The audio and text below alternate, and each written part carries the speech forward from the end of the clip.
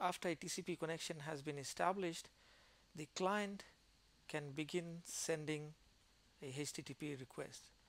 So this is the general format for the HTTP request which starts off with the request line and then there are a number of headers each on a separate line and if there is um, some data to be sent by the client then it's included in the entity body. Note the entity body and the headers are separated by a blank line. This is the carriage return line feed characters. So within this um, HTTP request the very first line being the request line indicates the the method that the client is choosing to request for the object. So there are different uh, there are a number of uh, methods. For instance you have the get method post and head.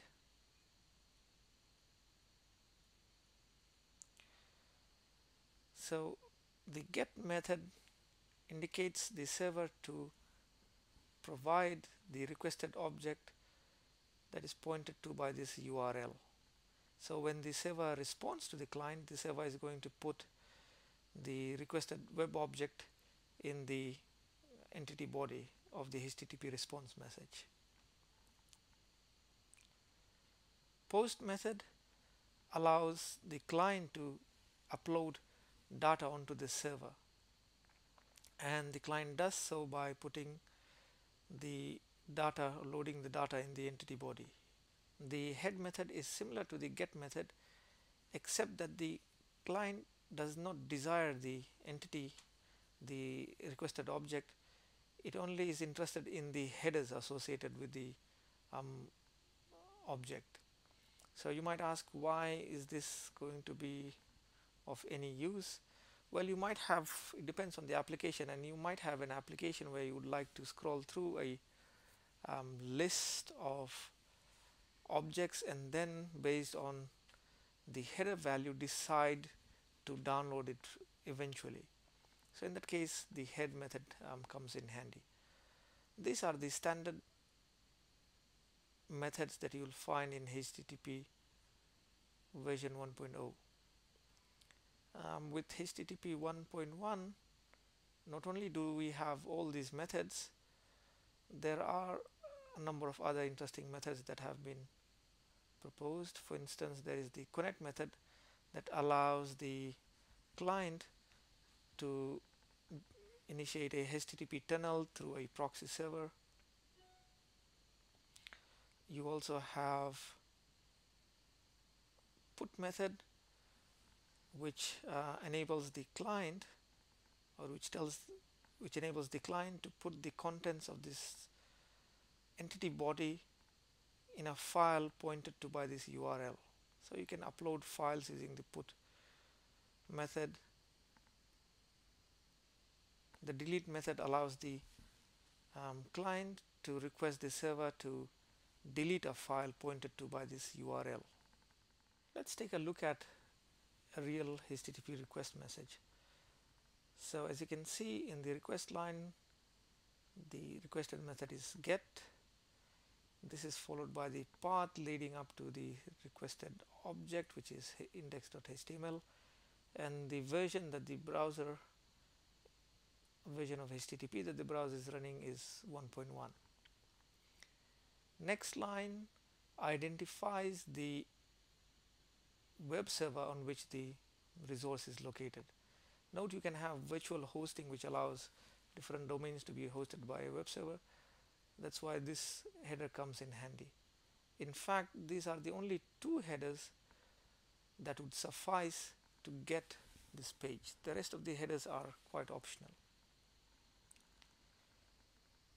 Anyway, the user agent header here identifies the client to the server. And the reason why this is done is because you have a multitude of clients some running on a mobile device others running on your traditional desktop. And the web server might be having different versions of a website for different clients. And therefore if the client identifies itself the web server can serve a most suitable version of the um, page or the requested object or the content to the client. The client is more or less identifying its capabilities here.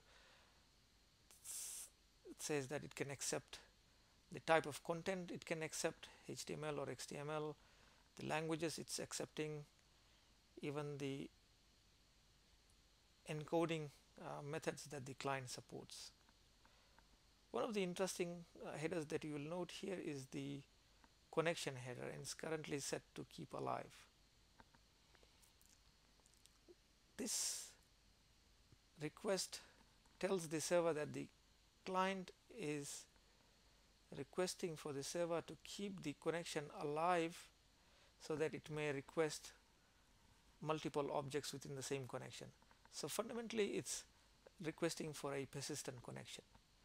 Now whether or not the connection is eventually persistent depends on the server. The server may decide to honor it in which case it will respond back with a keep alive um, option or if it chooses to use the close option it simply indicates that the connection is going to be non-persistent in nature. The HTTP response message from the server looks something like this. It starts off with the status line and within the status line the very first thing we see is the protocol version and then the status code followed by an explanation about what this code is. So status code in this case 200 OK means well things are pretty swell whatever was requested is being is available there, there were no errors and it's being included as part of the entity body. Um, after the status line you have couple of headers and again note just as um, we have seen with the HTTP request messages the headers and the data is separated by a blank line.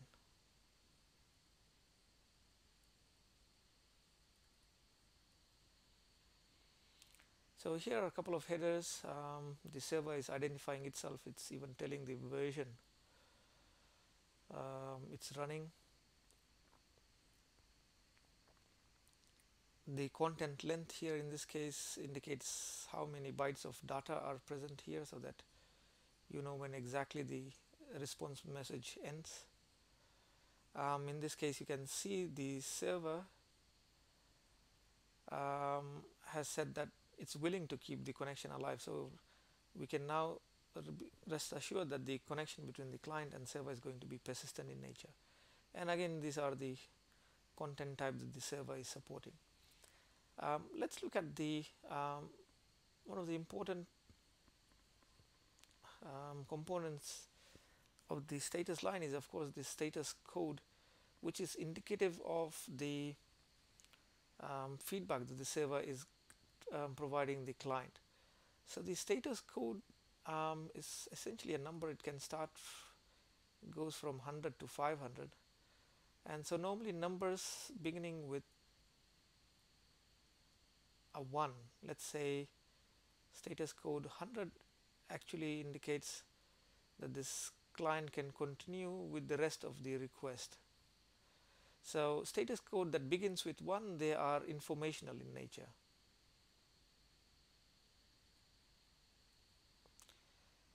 status code like here as we see in 200 they indicate that things are fine. Right so 200 okay this is really nice message that you can receive from the server. Status codes that begin with 300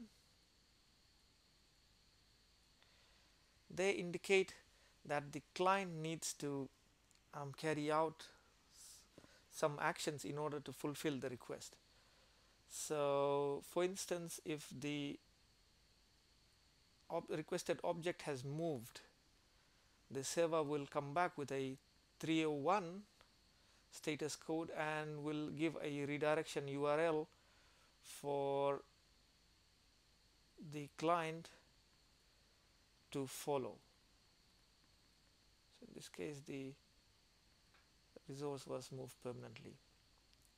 Status code beginning with 400 indicates problems with the request on the client side.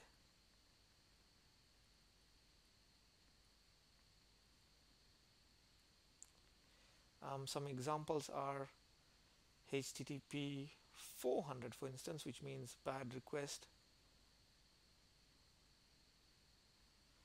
or one of the more popular ones HTTP 404 which means the requested object was not found. A status request that begins with 500 signals that for that particular request there are problems on the server side and one of the common um, problems you might get is um, internal server error. So these are the status codes which kind of indicates the um, or gives a feedback um, to the client with respect to its uh, initial request.